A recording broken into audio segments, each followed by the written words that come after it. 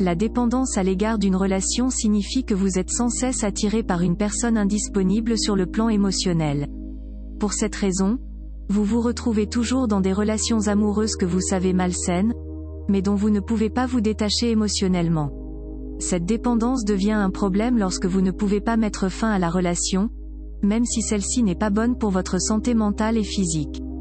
Quel que soit le type de personne avec lequel vous êtes sorti et qui fait que vous avez toujours des relations ratées et malsaines, il est temps d'arrêter parce que cela ne vous rend clairement pas service.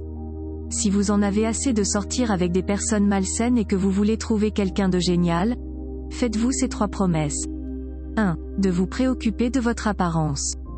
L'apparence n'est pas tout, mais la façon dont vous vous présentez est importante.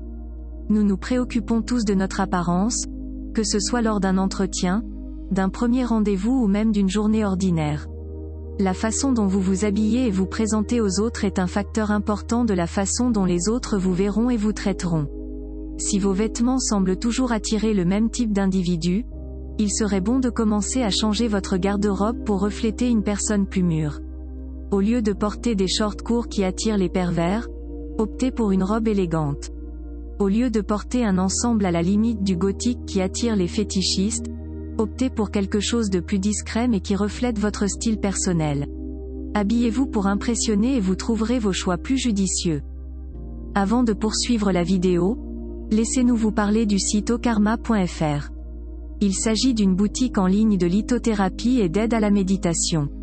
Grâce à un partenariat, vous pourrez obtenir 10% de réduction sur toute la boutique avec le code promo NUM10. Alors profitez-en, le lien est en description de vidéo.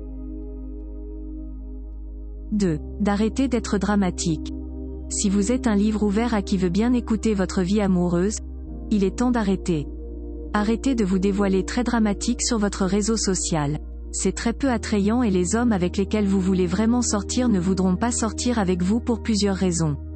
Tout d'abord, ils ne veulent pas devenir une énième mise à jour de votre statut, et ils ne trouvent pas non plus attrayant que vous diffusiez tout votre linge sale. Si vous avez besoin de vous défouler, tenez un journal, mais pas un journal sur les médias sociaux. Personne n'aime les reines du drame, surtout celles qui affichent fièrement leur déception face à leur dernier amour. 3. D'être plus confiant. La raison la plus courante pour laquelle vous continuez d'attirer les mauvaises personnes est que vous ne connaissez pas vos valeurs personnelles et vous n'avez pas confiance en vous. Comment faire en sorte qu'une personne vous aime si vous ne vous aimez pas vous-même? Si vous ne vous estimez pas, personne d'autre ne le fera. Et si vous laissez quelqu'un vous traiter mal, il le fera. Vous devez apprendre aux gens comment vous traiter. Lorsque vous décidez de vous aimer et de vous valoriser, vous commencez à vous débarrasser de ces relations malsaines. Vous savez que vous méritez mieux, agissez comme tel en rejetant les hommes qui ne vous traitent pas bien, et en distrayant réellement les hommes qui ont fait l'effort de vous rendre heureuse.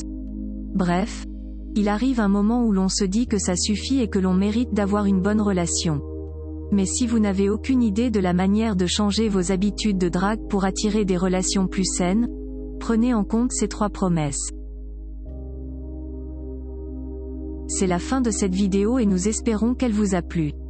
Pour nous soutenir et afin de nous motiver à vous fournir plus de vidéos d'interprétation, mettez un j'aime à la vidéo et abonnez-vous à notre chaîne. Vous pouvez aussi nous rejoindre sur Facebook, le lien est en description de vidéo. Merci et à bientôt sur Numérologie et Spiritualité.